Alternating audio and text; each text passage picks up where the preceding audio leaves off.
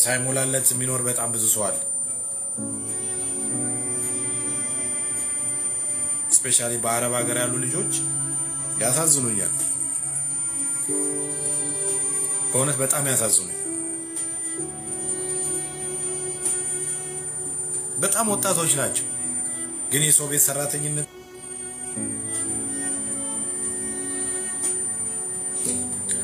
በሀገራቸው ላይ ተስፋ አጥተው ወደ ግራ ቢዞሩ ወደ ቀኝ ቢዞሩ ተስፋ አጥተው የጠገቡት ሲዘሉ እድሜ ጠገቦቹ የተማሩት ገንዘብ ያላቸው የእነሱን ዘመን ሲበሉባቸው፣ እውነቴን ነው የምላችሁ። በጣም የተንከራተቱ ብዙ ወጣቶች አሉ።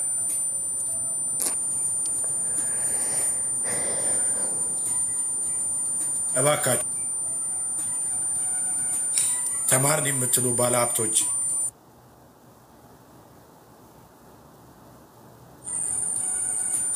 ተማርን የምትሉ ባለሀብቶች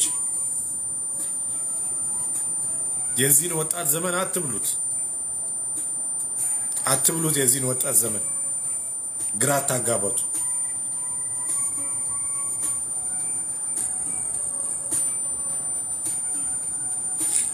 በእውነት ያሳዝነኛል።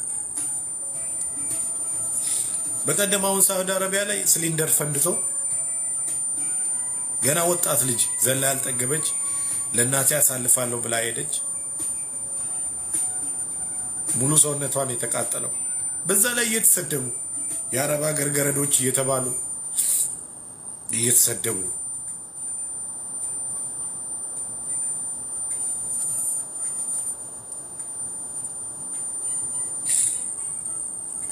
ወደ ሀገራቸው እንዳይመለሱ ምን ይዞ ይመለሱ?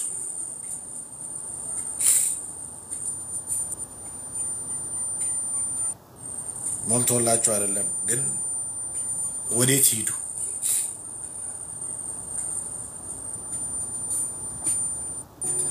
ብዙ ሰው በውጭ ሀገር ሲኖር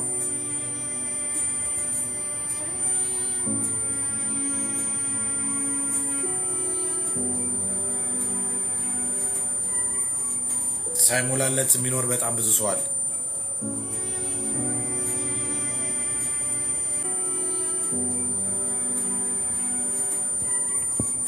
ሳይሞላለት የሚኖር በጣም ብዙ ሰው አለ። ስፔሻሊ በአረብ ሀገር ያሉ ልጆች ያሳዝኑኛል። በእውነት በጣም ያሳዝኑኝ። በጣም ወጣቶች ናቸው፣ ግን የሰው ቤት ሰራተኝነት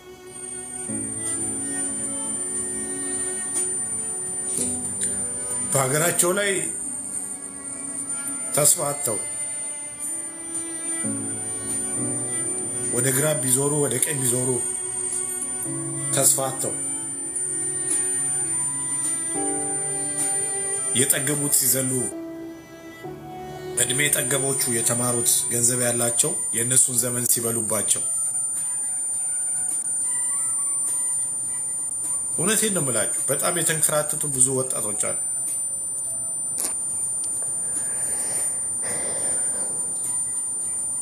እባካችሁ ተማርን የምትሉ ባለሀብቶች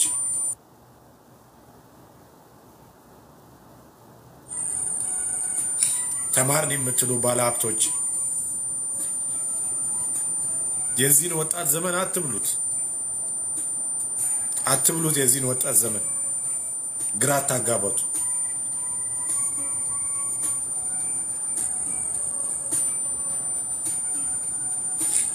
በእውነት ያሳዝነኛል።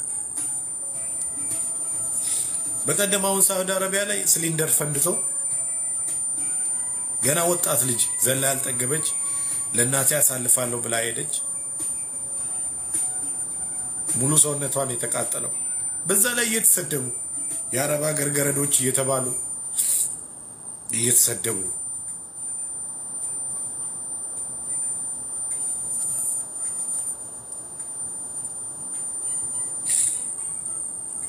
ወደ ሀገራቸው እንዳይመለሱ ምን ይዞ ይመለሱ?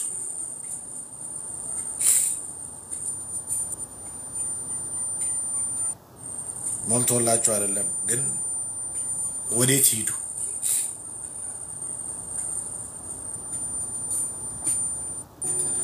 ብዙ ሰው በውጭ ሀገር ሲኖር